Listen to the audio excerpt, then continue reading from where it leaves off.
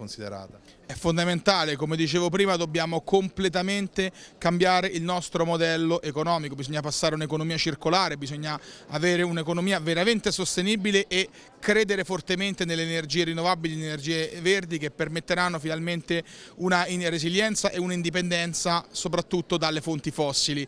Purtroppo però sappiamo molto bene che queste conferenze spesso si sono tradotte in delle, degli ottimi purparlé che non hanno trovato una concretizzazione vera e reale nella pratica in un vero e proprio trattato che porti a delle posizioni vincolanti per le parti contraenti. Speriamo che non sia l'ennesimo buco dell'acqua anche perché un'emergenza come quella appunto dei migranti ma anche il cambiamento climatico, la, pro, la progressiva desertificazione e la vera e propria lotta per l'accaparramento di terra e acqua eh, in Africa ci impongono di prendere una decisione e di prendere una decisione ferma. Se l'Europa non si fa paladina di queste battaglie è un'Europa che tradisce e nega gli stessi valori sui quali si è fondata.